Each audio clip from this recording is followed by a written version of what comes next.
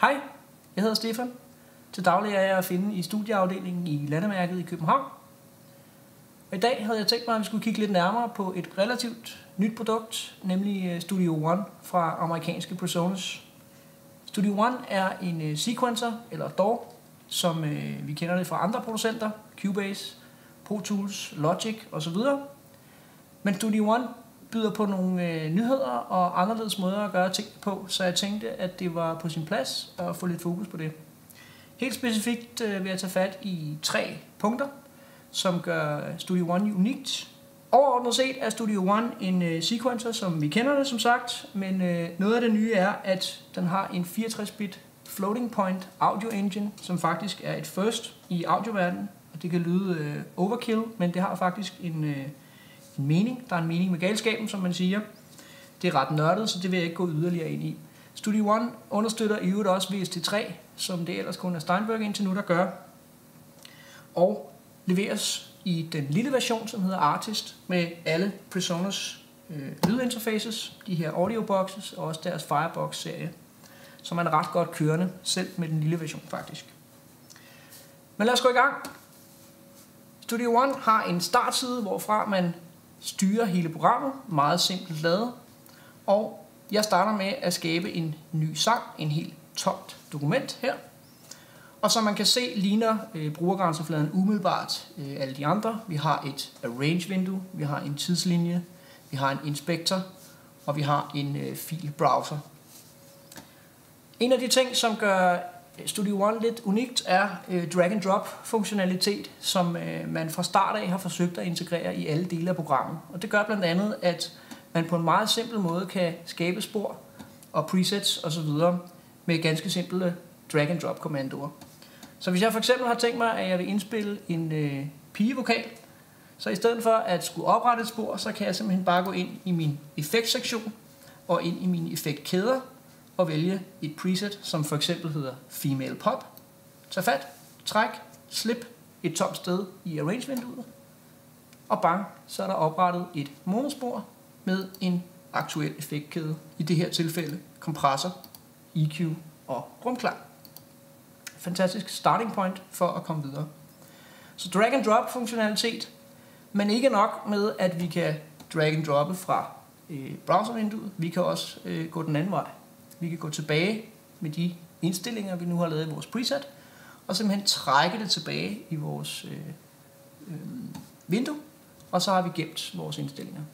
Ekstrem tidsbesparende funktion.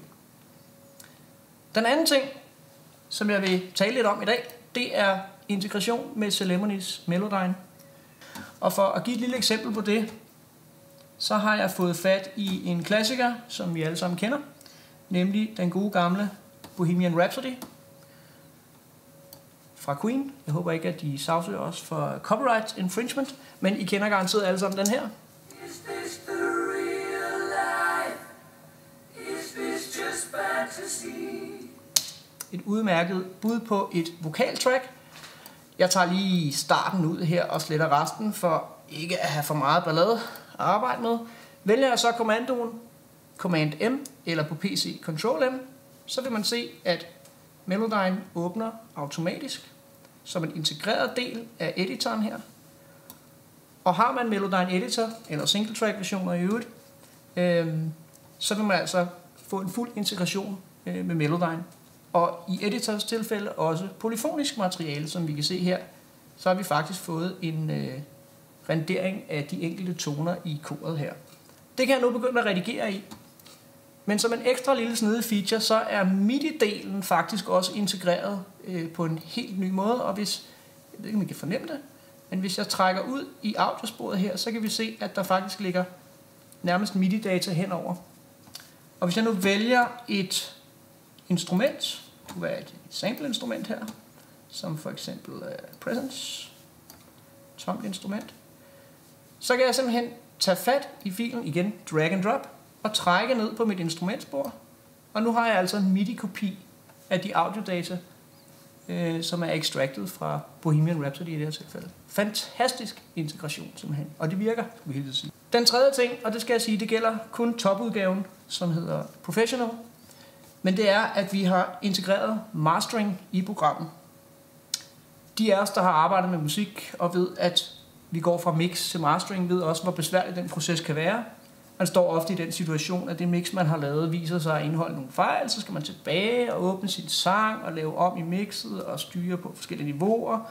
Lave et nyt bounce hen i sin mastering-applikation, åbne det og udskifte det gamle med det nye osv. En meget langsomlig og møjsommelig proces. Personer har tænkt, hvorfor er de to processer ikke integreret? Og det har de gjort på en ekstremt snedig måde ved at øh, oprette et projekt, som, han, som samler alle filer et sted. Jeg laver et nyt projekt, og så kan vi se, at vinduet ændrer sig fra en multitrack editor til en two-track editor, som vi kender det fra for eksempel Wavelab og andre lignende øh, editors. Og nu har jeg altså en fuld mastering pakke med alle de øh, effekter og analyseværktøjer, som kræves af professionel mastering. Vi har også mulighed for at publishe direkte. Vi kan lave øh, DDP-kodning, øh, image-filer, alle de ting, som man har behov for i professionel mastering, ligger integreret i programmet. Skulle jeg nu finde ud af, at der er fejl i mit mix, så kan jeg ganske simpelt bevæge mig tilbage til songsiden, lave min rettelse, går jeg så tilbage til projektsiden, så bliver two-track-filen automatisk opdateret, så alle mine edits, jeg har lavet i mastering-delen, bliver bevaret. Fantastisk feature. Afslutningsvis vil jeg sige, at Personas er ekstremt aggressiv omkring deres produkt, det vil vi godt forstå, på prisen i hvert fald, så det koster godt det halve af konkurrenterne, men tilbyder altså faktisk det samme, og i mange tilfælde øh, noget bedre. Så kig ind forbi og øh, få en demo af Studio One